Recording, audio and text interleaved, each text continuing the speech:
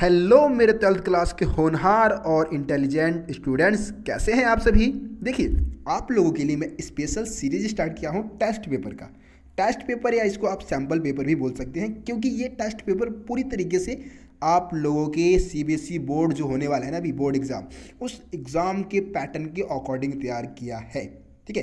तो आप लोगों को क्या करना है? तीन घंटे का टाइम लेना है, तीन घंटे का टाइम सेट करना है और इसके अलावा आपको एग्जामिनेशन सीट लेना है। जो एग्ज़ाम में जैसा सीट आपको मिलता है ना, आपको मार्केट में भी वो सीट मिल जाना है। तो वहाँ से आप सीट खरीद लें और आप इस टेस्ट पेपर को सॉल्व करें। ठीक है? सॉल्व करें, आप तीन घंटे का पूरा टाइम लगाएँगे। आपको पता लगेगा कि भाई आपको मतलब आप कम से कम पाँच पेपर सॉल्व कर लेंगे ना तो आपको इतना अनुभव हो जाएगा कि आप आठ नंबर के आ, मतलब क्वेश्चन में कितना टाइम देंगी? आप थ्री मार्क्स के क्वेश्चन में कितना टाइम देंगे? है ना? एमसीक्यू में आपको कितना टाइम देना है? सारा कुछ टाइम मैनेजमेंट आप सीख जाएँगे प्लस में। इनमें से ही बहुत सारे क्वेश्चन आपके एग्ज़ाम में रिपीट भी होंगे। तो ये भी बेनिफिट रहेगा ठीक है? तो चलिए अब हम अपने पहले टेस्ट पेपर को देखते हैं पहले सैंपल पेपर को देखते हैं। चलिए अब हम अपने टेस्ट पेपर को देखते हैं। देखिए सबसे पहले आपको बता दूँ तीन घंटे आपको इसमें टाइम मिले मिलेगा है ना? और अस्सी नंबर का आपका एग्ज़ाम रहने वाले बोर्ड पेपर में भी आपका सेम पैटर्न रहेगा। एक बार मैं दिशा निर्देश पढ़ देता हूँ। देखिए पेपर जो है ना, कुल मिला के आपका पाँच खंडों में विभाजित है। क, ख, ग अड़ा में, है ना? और चौंतीस प्रश्न होंगे। एक से लेके इक्कीस तक एक नंबर वाले एमसीक्यू होंगे। और 22 से लेकर 27 तक लघु उत्तरीय प्रश्न है, जो कि तीन नंबर वाले हैं। 60 से 80 शब्दों में आपको इसका उत्तर करना होगा, है ना? आपका जो 28 से लेकर 30 तक होगा ना, ये होंगे आठ नंबर वाले, जो कि 300 से साढ़े तीन शब्दों में इसका उत्तर आपको देना होगा। और उसके बाद अगला खंड आपका जो होगा, वो है इकतीस से लेकर तैंतीस तक जो स्रोत आधारित रहेगा। और इसमें एक स्रोत में तीन प्रश्न होंगे, चार अंक वाले होंगे ये। चार अंक का एक प्रश्न है, ठीक है? और आखिर में आपका जो अगला लास्ट खंड होगा, वो चौंतीसवां क्वेश्चन होगा, जो कि मानचित्र पर आधारित होगा, ठीक है?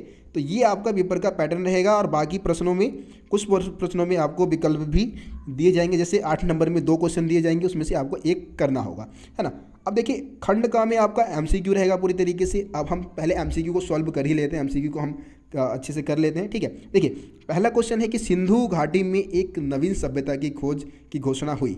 मतलब सिंधु घाटी में नई सभ्यता की खोज की घोषणा कब की गई थी? यहाँ पे खोज कब हुई सिंधु घाटी की, उसकी बात नहीं हो रही मतलब सिंधु घाटी सभ्यता की खोज कब हुई, वो नहीं पूछा है। बल्कि खोज की घोषणा कब हुई थी, वो पूछा है। तो आप इसका आंसर क्या बताएँगे? उन्नीस सौ चौबीस, है ना? उन्नीस सौ चौबीस में जॉन मार्शल ने पूरी दुनिया के सामने सिंधु घाटी में नई सभ्यता की खोज की घोषणा की थी। ये बात आप लोगों को मालूम है। अगला क्वेश्चन है, जो कि बहुत सारे बच्चों को नहीं मालूम होगा।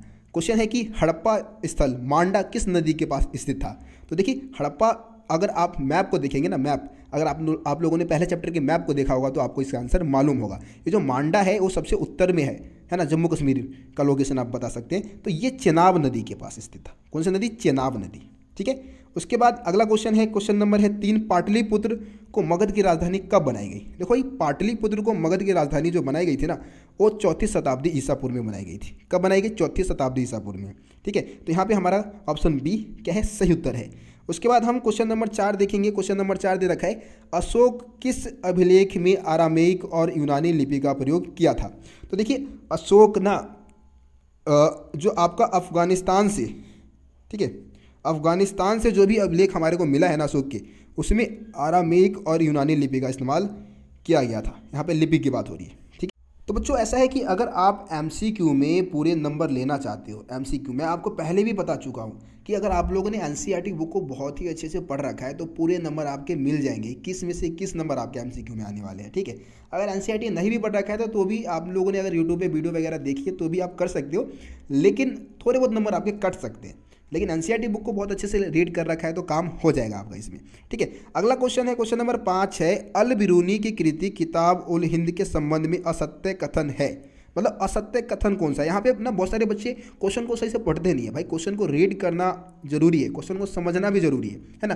तो यहाँ पे पूछा है कि अलबिरूनी के कृति किताब उल हिंद के संबंध में असत्य कथन कौन सा है?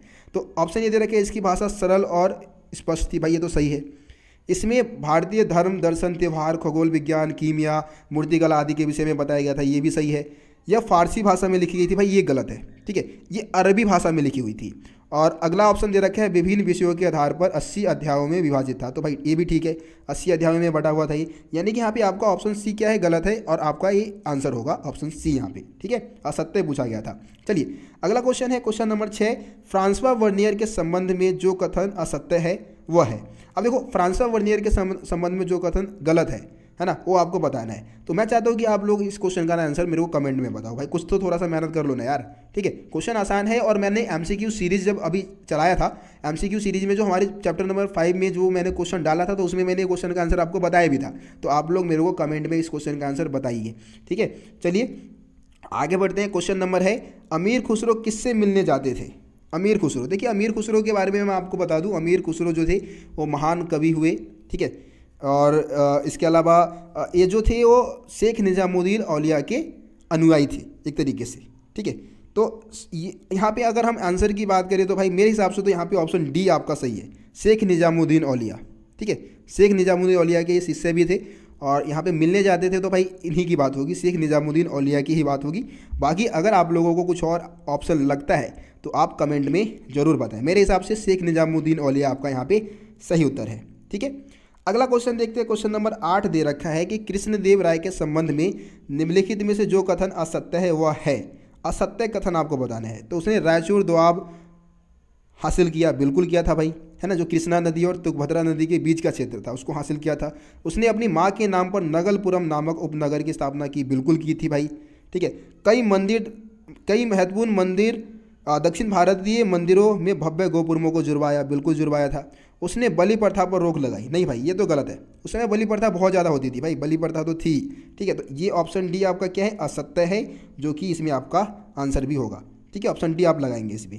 अगला क्वेश्चन है मुगल कालीन मुगल कालीन दिल्ली प्रांत में मौसम के दो चक्रों के अनुसार डैश किस्म की फ़सलें पैदा होती थी। दिल्ली प्रांत की बात की है, दिल्ली प्रांत में कितने फ़सलों की पैदावारी होती थी? तो यहाँ पे आपका होगा तिरालीस, ठीक है? फोर्टी थ्री किस्म की फ़सलें वहाँ पे उगाई जाती थी। आगरा में थर्टी नाइन दिल्ली में फोर्टी थ्री और बंगाल में चावल की सिर्फ़ पचास किस्में उगाई जाती थी, सिर्फ़ चावल की, ठीक है? तो यहाँ पे हमारा ये सही उत्तर हो जाएगा। उसके बाद क्वेश्चन नंबर दस देखते हैं। क्वेश्चन नंबर दस है, बंगाल के जमींदार दस्तकारों को उनकी सेवा के बदले रोज का भत्ता और खाने के लिए कुछ नकदी देते थे।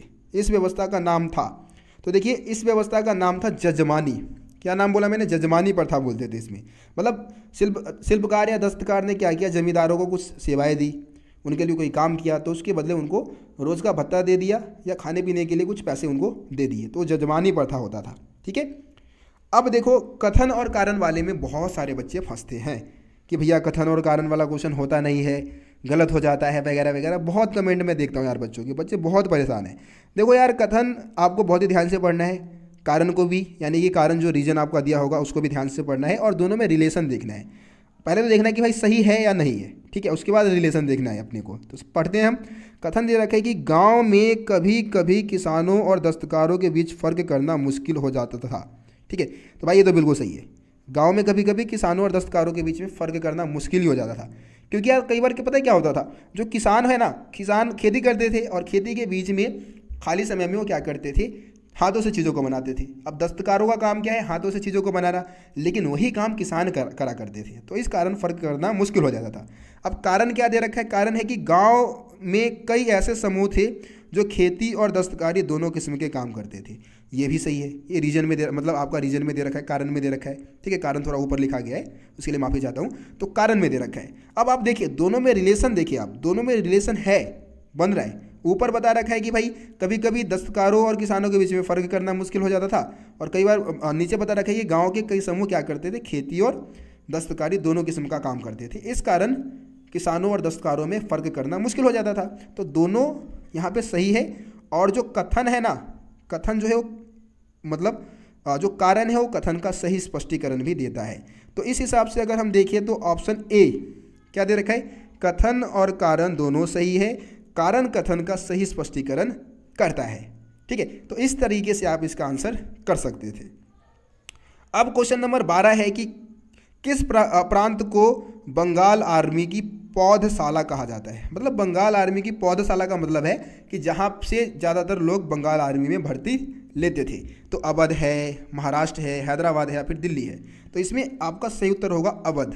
है ना? अवध से ही ज़्यादातर सिपाही बंगाल आर्मी में भर्ती लेते थे, इसीलिए इसको बंगाल आर्मी की पौधशाला कहा जाता है। उसके बाद क्वेश्चन नंबर तेरह दे रखा है कि अंग्रेज़ों ने विद्रोह को दबाकर दिल्ली पर पुनः नियंत्रण कब स्थापित किया? मतलब दिल्ली पर दोबारा कब्जा कब किया?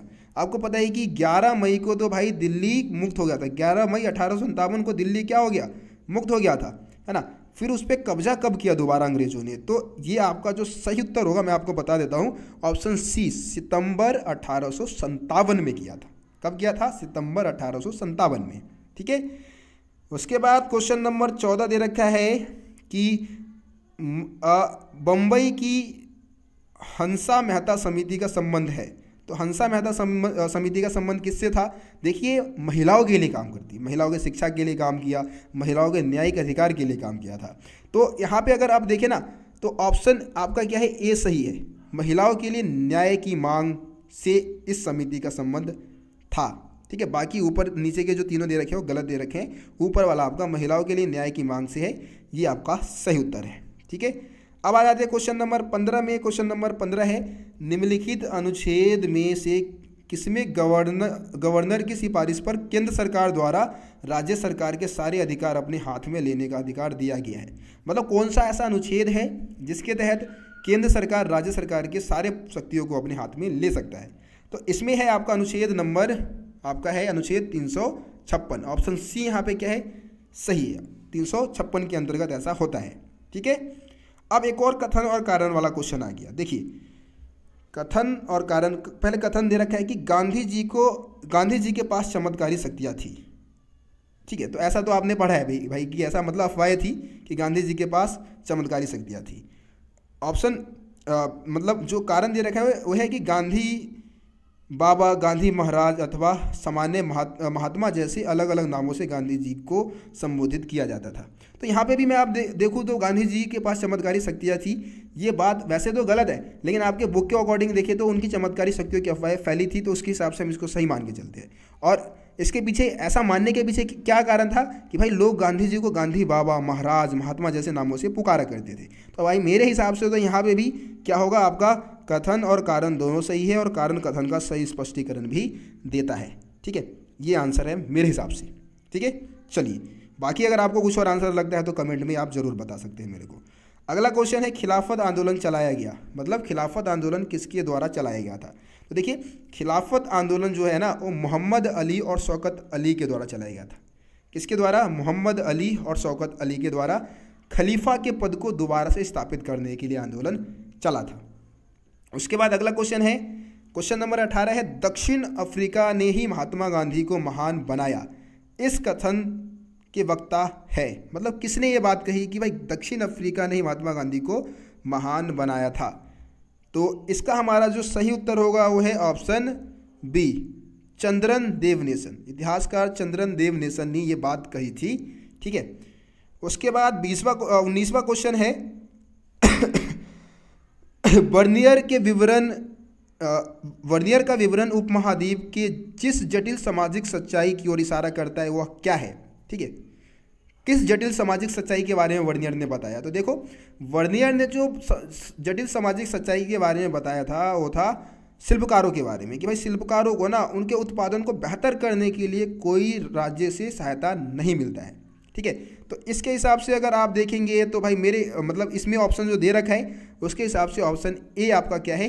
सही उत्तर है कि भाई शिल्पकारों को अपने उत्पादन को बेहतर करने के लिए राज्य के द्वारा कोई सहायता नहीं मिलता था। उसके बाद क्वेश्चन नंबर है आपका बीस। क्वेश्चन नंबर बीस है, अल बिरूनी की कीर्ति किताब उल हिंद के संबंध में असत्य कथन बताइए। ठीक है? वैसे ये क्वेश्चन रिपीट हो गया भाई। उसके लिए माफ़ी चाहता हूँ। ये क्वेश्चन ऊपर भी आ गया था। ठीक है? तो असत्य कथन कौन सा है भाई? असत्य कथन ऑप्शन सी है आपका। है ना? यह फारसी भाषा में लिखी गई थी, लेकिन इसकी भाषा कौन सी है? अरबी भाषा। उसके बाद क्वेश्चन नंबर है आपका इक्कीस। चलो क्वेश्चन नंबर इक्कीस का भी आंसर आप लोगों से मैं कमेंट में चाहता हूँ भाई। देखता हूँ ना आप लोगों ने कितना पढ़ा है तो कमेंट में मेरे को इस क्वेश्चन का आंसर बताइए कि लाहौर अधिवेशन के विषय में असत्य है। ऑप्शन ए है, यह दिसंबर उन्नीस सौ उनतीस में आयोजित किया गया। ऑप्शन बी है, इसमें पूर्ण स्वराज की घोषणा की गई। ऑप्शन सी है, इसकी अध्यक्षता वल्लभ भाई पटेल ने की। ऑप्शन डी है 26 फरवरी 1930 को प्रथम स्वतंत्रता दिवस मनाया गया। ठीक है? तो आप बताएँ मेरे को, इसमें से गलत कौन सा असत्य कौन सा है? आप ज़रूर बताएँ। ठीक है कमेंट में। अब हम खंड खा में चलते हैं जिसमें थ्री मार्क्स के क्वेश्चन दे रखे हैं, ठीक है? तो मैं आपको हल्का हल्का क्वेश्चन को समझाता हुआ चलता हूँ थोड़ा थोड़ा हिंट देता हुआ चलता हूँ कि किस क्वेश्चन में आपको क्या आंसर डालना है, क्या आंसर लिखना है। पहला क्वेश्चन है कि अंग्रेज़ जंगलों को साफ़ करके स्थायी कृषि का विस्तार क्यों करना चाहते थे? कोई तीन कारण दीजिए। देखिए, अंग्रेज़ों को स्थायी कृषि करवाने के पीछे का सबसे मेन कारण ये था कि उनको स्थायी कृषि से ज़्यादा से ज़्यादा टैक्स मिल सकता था।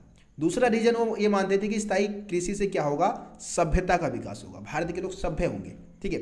और तीसरा पॉइंट आप बता सकते हो कि वो ना सुव्यवस्थित समाज की स्थापना करना चाहते थे। एक व्यवस्थित समाज की कल्पना करना चाहते मतलब स्थापना करना चाहते थे। तो इस कारण से भी वो स्थायी कृषि को बढ़ावा देते हैं। उसके बाद है, राजस्व मुगल साम्राज्य की आर्थिक बुनियाद थी। व्यापार के संदर्भ में इस कथन को स्पष्ट कीजिए। देखिए क्वेश्चन समझाने मतलब समझने लायक है कि राजस्व जो है ना, मुगल साम्राज्य की आर्थिक बुनियाद थी, क्योंकि पूरा साम्राज्य राजस्व के बदौलत ही चलता था। राजस्व का मतलब क्या है? टैक्स कर। अगर टैक्स नहीं मिलेगा तो साम्राज्य को कैसे चलाया जाएगा? आप खुद सोचें ठीक है? तो राजस्व को मुगल साम्राज्य की आर्थिक बुनियाद इसलिए मानी जाती थी क्योंकि पूरा मुगल साम्राज्य इसी पर टिका हुआ था, इसी से चलता था। और राजस्व एकत्रित करने के लिए एक प्रशासनिक ढांचा तैयार किया था मुगल शासकों ने, जिसमें दीवान है ना? दीवान के बारे में आप लोगों ने पढ़ा होगा। दीवान विशेष अधिकारी होते थे। दीवान को ही ये अधिकार दिया गया था कि वो पूरे साम्राज्य के राजस्व को मतलब जुटाए। राजस्व एकत्रित करने की जिम्मा इसी की थी। अब राजस्व एकत्रित करने में कई चरण थे। जैसे कि पहले कर का निर्धारण होता था, उसके बाद वास्तविक वसूली की जाती थी और किसानों के बारे में सभी जानकारी जुटाई गई। ज़मीन की नपाई करवाई गई, है ना? और उसके बाद टैक्स का निर्धारण किया गया। और इसके अलावा किसानों के पास ऑप्शन होता था कि वो नकद के रूप में भी मतलब नकद, ठीक है, नकद के रूप में भी टैक्स पे कर सकते थे या फिर फ़सल के रूप में भी। दोनों ऑप्शन उनके पास मौजूद था, ठीक है? तो ये पॉइंट आप बता सकते हैं। इसमें चौबीसवा क्वेश्चन दे रखा है कि भूमि के निजी स्वामित्व तथा राजकीय स्वामित्व पर वर्नियर के विचारों का उल्लेख कीजिए, ठीक है? मतलब कि निजी स्वामित्व आपको पता है बर्नियर क्या बोलता है? कि भाई निजी भू स्वामित्व का भारत में अभाव था। अब निजी भू स्वामित्व में क्या होता है कि पूरे ज़मीन का मालिक जो है, वो कोई निजी व्यक्ति होता है, एक व्यक्ति होता है, जिसका ज़मीन पे मालिक होगा। मतलब मालिकाना अधिकार होगा। और राजकीय स्वामित्व में क्या होता है कि राजा, जो राजा है, वो क्या होगा? भूमि का मालिक होगा। यानी कि राजकीय भू स्वामित्व में पूरे ज़मीन का मालिक जो था, वो मुगल बादशाह होता था। मुगल बादशाह क्या करता था? अपने अमीर लोगों में ज़मीन को बांट देता था। अपने सगे संबंधियों में ज़मीन को बांट देता था जिस कारण किसान उत्पादन को बेहतर करने के लिए कोई आ, मतलब एक तरीके से इंटरेस्ट नहीं दिखाते थे जिस कारण से सभी का विनाश होता जा रहा था वहाँ पे है ना? ये पॉइंट्स आप यहाँ पे लिख सकते हैं। उसके बाद क्वेश्चन नंबर पच्चीस बहुत ही आसान क्वेश्चन है जैन धर्म की शिक्षाएँ बताइए। जैन धर्म की शिक्षाएँ क्या है भाई? संपूर्ण विश्व प्राणवान है यानी कि दुनिया में जो कुछ भी आपको नज़र आ रहा है सब में जीवन मौजूद है ठीक है? चाहे वो पेड़ पौधे है चट्टान है है ना? पंखा है, टेबल, कुर्सी, सब में जीवन है। अहिंसा परमो धर्म। अहिंसा के सिद्धांत को मानते हैं भाई जैन धर्म के लोग। ठीक है? यानी कि पेड़ पौधों को नहीं काटना है मतलब पेड़ पौधे जीव जंतुओं को नहीं मारना है, मनुष्य को नहीं सताना है, कुछ इस तरीके से। ठीक है? विहारों में निवास करना है, त्याग, तपस्या को महत्व देते हैं। पाँच सिद्धांत आप बता दें, जैसे कि हत्या ना करना, चोरी ना करना, झूठ ना बोलना, ब्रह्मचर्य का पालन करना। ठीक है? तो ये सारे पॉइंट यहाँ पे आप बताएँ। उसके बाद है क्वेश्चन नंबर छब्बीस परियोजना पर काम करने वाले विद्वानों ने महाभारत की सभी पांडुलिपि में पाए जाने वाले श्लोकों की तुलना करने का क्या तरीका ढूंढ निकाला? संक्षिप्त में बताइए। तो इसमें ना आपको वैसे क्वेश्चन थोड़ा घुमाया गया है, लेकिन क्वेश्चन में आपको बताना है, महाभारत का समालोचनात्मक संस्करण वाला जो पॉइंट है वो बता दो। ठीक है? तो महाभारत का समालोचनात्मक संस्करण की परियोजना 1919 में शुरू की गई थी बी एस सुखांकर के द्वारा। बहुत सारे विद्वानों ने मिलकर इस परियोजना को पूरा करने का जिम्मा उठाया था। उन्होंने क्या किया? महाभारत की अनेक भाषा में लिखे पांडुलिपियों को एकत्रित किया और उन्होंने क्या किया? उन सभी पांडुलिपि में से उन श्लोकों का चयन किया जो सभी पांडुलिपि में पाए गए थे। वो श्लोक ऐसे ढूंढे गए जो कि सभी पांडुलिपि में पाए गए थे, है ना? और उसके बाद उसका प्रकाशन कितने हज़ार पृष्ठों पे कर दिया था? तेरह हज़ार पृष्ठों पे। परियोजना को पूरा होने में सैंतालीस वर्ष का टाइम भी लगा था तो पूरी वही बातें आपको इसमें लिखनी थी, ठीक है? अथवा में इसमें एक और क्वेश्चन दे रखा है कि इतिहासकारों ने मौर्य साम्राज्य के इतिहास की पुनर्रचना के लिए विभिन्न प्रकार के स्रोतों का उपयोग किया। किन्हीं तीन स्रोतों का उल्लेख कीजिए। मतलब इस क्वेश्चन में आपको मौर्य साम्राज्य के बारे में जो जो भी जानकारी प्राप्त करने के स्रोत है, उसके बारे में आपको बताना है। जैसे कि मैक्सनिज की इंडिका था, है ना? कौटिल्य का अर्थशास्त्र है जैन बौद्ध धर्म के ग्रंथ है, अशोक के अभिलेख है तो वो चारों पॉइंट के बारे में आप इसमें लिख सकते थे। उसके बाद सत्ताईस में एक और क्वेश्चन दे रखा है कि इतिहासकारों ने हड़प्पा संस्कृति के निर्वाह के तरीके को किस प्रकार नई दिशा प्रदान की? तो यहाँ पे आप निर्वाह के तरीके की बात करें, हड़प्पावासी निर्वाह किस तरीके से करते थे? ठीक है, पेड़ पौधों से भोजन प्राप्त करते थे, मछली इनका मुख्य आहार था, है ना? अनाज के दाने में गेहूँ, जौ, सफ़ेद चना, तिल, बाजरा इन सब चीज़ों को शामिल कर, कर करते थे। इसके अलावा आपका जो जानवर है जानवरों में भेड़ बकरी सुअर घरियाल इन सब चीज़ों का इन सब चीज़ों से भोजन प्राप्त करते थे। अब देखो एक होते पूरा वनस्पतिज्ञ जो कि वनस्पतियों का अध्ययन करते हैं है ना? और एक होते जीव पुरा तादविद तो जीव पुरा तादविदों ने जानवरों के बारे में बताया जानवरों के बारे में जानकारी दी कि हड़प्पावासी किन जानवरों को, को खाते थे।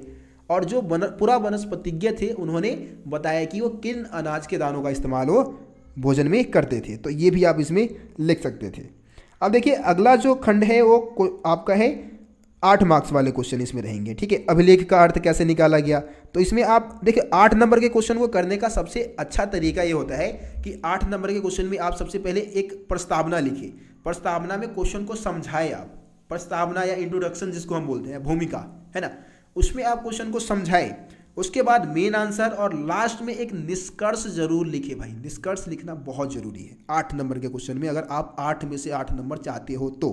तो यहाँ पे पूछा गया अभिलेख का अर्थ कैसे निकाला गया? सबसे पहले अभिलेख का अर्थ समझा दीजिए आप।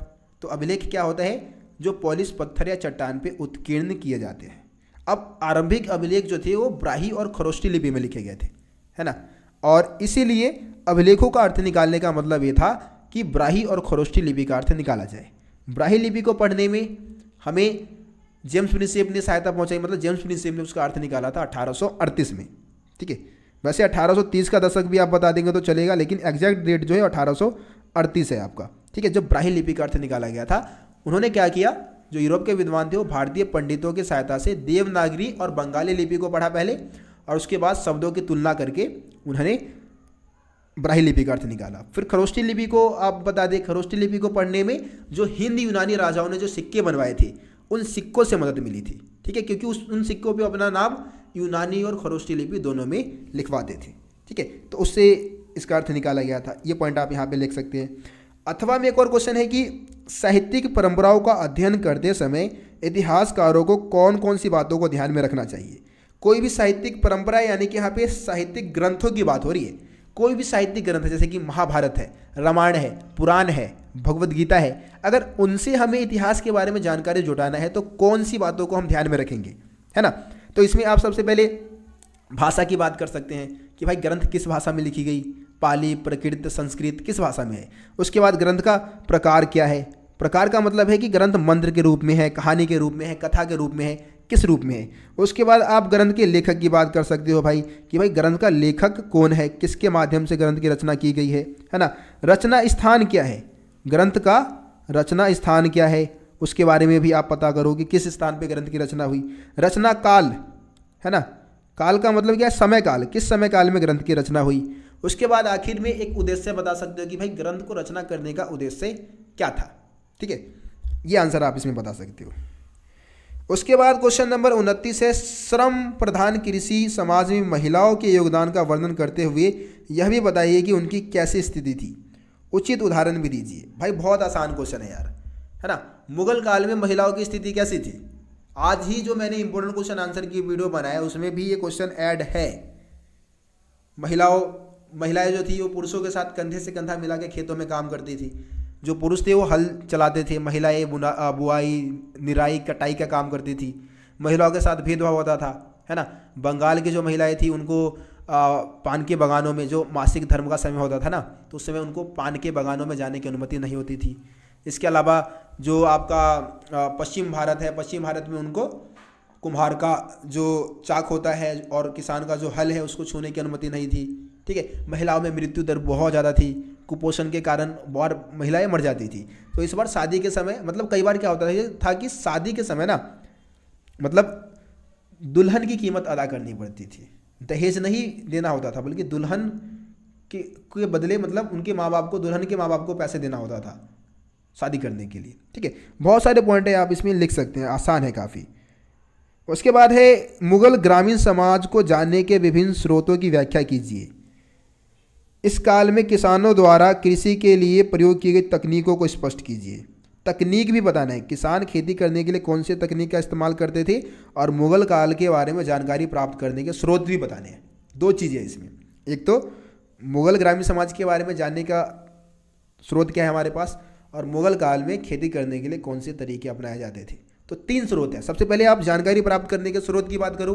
तीन स्रोत है है ना? एक तो आईने अकबरी है। एक मुगल राजधानी से दूर लिखे दस्तावेज़ जो कि महाराष्ट्र गुजरात और राजस्थान में लिखे गए है ना? इसके अलावा ईस्ट इंडिया कंपनी के दस्तावेज़ से भी हमें मुगल काल के बारे में जानकारी मिलती है। इसके अलावा अगर हम बात करें कि भाई आ, किसान खेती करने के लिए कौन से तरीके अपनाते थे तो बैलों का इस्तेमाल करते थे लोहे के हलों का इस्तेमाल करते थे बीज को छिड़कने के लिए बर्मों का इस्तेमाल होता था। है ना? सांचेदार पटरे होते थे जो कि ज़मीन को समतल करने के लिए यूज़ में लाए जाते थे। तो ये सारे पॉइंट आप इसमें लिखिए, ठीक है? उसके बाद है तीसरा क्वेश्चन है, गांधी जी ने राष्ट्रवादी संदेश का प्रचार शासकों की भाषा के जगह पे मातृभाषा में करने को प्रोत्साहित किया। उन्होंने अपने दर्शन के साथ असहयोग आंदोलन को किस प्रकार एकजुट किया? परख कीजिए। देखिए, महात्मा गांधी हमेशा से हिंदी भाषा को महत्व देते थे। वो चाहते थे कि जो भी हम आदेश जारी करें, है ना? जो भी हम मतलब बातें जनता तक पहुँचाए, वो हिंदी में पहुँचाए, ना कि जो शासन की जो भाषा है, अंग्रेज़ी भाषा, उसमें, ठीक है? और असहयोग आंदोलन के संदर्भ में आपको बताना है तो असहयोग आंदोलन की पूरी घटना आप इसमें लिखेंगे, पूरी घटना को आप अच्छे से एक्सप्लेन करेंगे, उसके बारे में आप समझाएँगे। जैसे कि सबसे पहले शुरुआत आप बताएँ, तीन तीन चार कारण थे असहयोग आंदोलन शुरू होने के पहले, कारण लिख दो आप। है ना? जैसे कि रॉलेट एक्ट लागू किया गया था रॉलेट एक्ट एक कारण था। इसके अलावा गांधी जी को पंजाब जाते समय गिरफ़्तार कर लिया गया था। जलियावाला बाग हत्याकांड एक कारण था, वो सब लिखे, ठीक है? उसके बाद आप असहयोग आंदोलन के कार्यक्रम लिख दे, कार्यक्रम बता दे कि भाई, जो किसान थे, उन्होंने कर देना बंद कर दिया था। वकीलों ने वकालत करना बंद कर दिया, है ना? छात्रों ने अंग्रेज़ों द्वारा चलाए गए स्कूल और कॉलेज में जाना बंद कर दिया, पूरे कार्यक्रम लिखे। उसके बाद आप बताएँ कि असहयोग को खिलाफत के साथ महात्मा गांधी ने मिला दिया। ताकि हिंदू, मुस्लिम एक हो जाए, है ना? ये सब चीज़ें बता दें और आखिर में बता दें इस आंदोलन को उन्होंने वापस क्यों लिया था? तो चौरी चौरा हत्याकांड हुआ था गोरखपुर में। उसके बाद उन्होंने इस आंदोलन को वापस ले लिया था। पूरी स्टोरी आप असहयोग आंदोलन की बता दें। लेकिन स्टार्टिंग में आप थोड़ा सा हिंदी भाषा का महत्व जो है, वो आप ज़रूर बता दें, ठीक है? उसके बाद अथवा में एक और क्वेश्चन है कि फरवरी 1916 में बनारस हिंदू विश्वविद्यालय के उद्घाटन समारोह के अवसर पर गांधी जी द्वारा व्यक्त विचारों की व्याख्या कीजिए। क्या वे अपने नियमों को व्यवहार में ला पाए? उदाहरण दीजिए। तो महात्मा गांधी ने बनारस हिंदू विश्वविद्यालय के उद्घाटन समारोह में जब उनकी बोलने की बारी आई ना तो बहुत ही खतरनाक बोला था उन्होंने। उन्होंने बोला कि बनारस हिंदू विश्वविद्यालय का जो उद्घाटन समारोह समारोह है ना, वो वास्तव में बहुत ही शानदार है, लेकिन एक कमी है। यहाँ पे हज़ारों की संख्या में मतलब मतलब यहाँ पे सजे धजे भद्रजन, अमीर व्यापारी, बुद्धिजीवी सब उपस्थित हैं। लेकिन हज़ारों लाखों की संख्या में जो हमारे देश के किसान हैं, हमारे देश के जो मजदूर हैं, वो अनुपस्थित हैं। इस वजह से मैं बहुत दुखी हूँ। हमें आज़ादी चाहिए ना, आज़ादी हमें मिलेगी किसानों की मदद से, मजदूरों की मदद से, ना कि वकील की मदद से या फिर किसी बुद्धिजीवी या व्यापारिक वर्ग की वजह से। आज़ादी मिलेगी तो किसान और मजदूरों की मदद से। उन्होंने किसानों और मजदूरों को बहुत महत्व दिया। उन्होंने बोला कि हमारे लिए स्वराज का मतलब तब तक कुछ नहीं है जब तक कि हम किसानों के उनकी उपज का पूरा हिस्सा उनको दिला दें, पूरा लाभ उनको हम दिला दें। ठीक है? तो ये बातें कहते हैं और इस विचार को अमल में भी लाया। 1916 में ही आपको पता है, चंपारण से कुछ किसान आए उनके पास, महात्मा गांधी के पास। नील की खेती ज़बरदस्ती अंग्रेज़ लोग करवा रहे थे तो उसके खिलाफ चंपारण सत्याग्रह चलाया। उसके बाद आपको पता है, अहमदाबाद सत्याग्रह है, आपका खेड़ा सत्याग्रह है। तो धीरे धीरे उन्होंने किसानों के लिए, मजदूरों के लिए काम करना शुरू किया और अपने नियमों को वास्तव में, व्यवहार में भी वो लेकर आए थे। ठीक है तो इस तरीके से इसका आंसर आप लिख सकते हैं। अब देखिए, स्रोत आधारित क्वेश्चन तो भाई, आप खुद कर ले, आप इसको पढ़े और आप सभी क्वेश्चन तो दे रखें, उसका उत्तर आप दे दें। ठीक है, मैप देख लेते हैं। मैप देख लेते हैं भाई, एक बार हम तो मैप में देखिए कौन कौन से लोकेशन आपको बताने हैं। आप लोथल बता सकते हो, आप सांची बता सकते हो, अजमेर या अमृत, अजमेर और आपका कानपुर में से एक लोथल और सांची में से एक और एक अमृतसर। आप सारे लोकेशन हम कर लेंगे, दिक्कत वाली कोई बात नहीं है, मैं आपको बता देता हूँ। देखिए, सबसे पहले लोथल। तो लोथल आपको दिखाना है कहाँ पे? लोथल आपको दिखाना है गुजरात में, इस जगह पे। थोड़ा मैं जूम कर देता हूँ उसको देखिए लोथल का लोकेशन आप कहाँ बताएँगे? लोथल का लोकेशन इस जगह पे आप बता सकते हैं ठीक है? गुजरात में ये लोथल है यहाँ पे इस जगह पे ठीक है? उसके बाद आपका आ, आपका था एक और लोकेशन था आ, सांची ठीक है? तो सांची आप मध्य प्रदेश के बीच में दिखा दें इस जगह पे आप सांची दिखा दें यहाँ पे ये सांची का लोकेशन हो गया ठीक है? उसके बाद आपका था एक एक मिनट अजमेर और कानपुर। चलो, अजमेर और कानपुर भी मैं बता देता हूँ आपको। अजमेर आप राजस्थान में दिखा दें, यहाँ पे। इस जगह पे आप दिखा सकते हैं अजमेर को, ठीक है? थोड़ा सा ऊपर नीचे हो जाता है, कोई दिक्कत नहीं, गलत नहीं होगा, नंबर आपको मिल जाएगा। अजमेर दिखा दो। कानपुर आप कहाँ दिखाओगे? यूपी में दिखा दो भाई, इस जगह आप। थोड़ा सा ऊपर की तरफ़, ठीक है? यहाँ आप कानपुर दिखा दो। ये कानपुर का लोकेशन, बीच में भी दिखा दोगे, चलेगा, गलत नहीं होगा, ठीक है? यूपी के बीच में भी आप कानपुर दिखा सकते हो, गलत नहीं होगा। लेकिन थोड़ा सा हम ऊपर की तरफ़ दिखाते हैं, जहाँ पे मैंने आपको बताया, वहाँ बता दो, आपको मिल जाएगा। अमृतसर अमृतसर आपको पता है भाई, अमृतसर कहाँ है? पंजाब में है। पंजाब कहाँ है हमारा? हेरा पंजाब। तो आप अमृतसर, पंजाब में बता दो भाई। ठीक है? तो ये आपका हो जाएगा पंजाब में।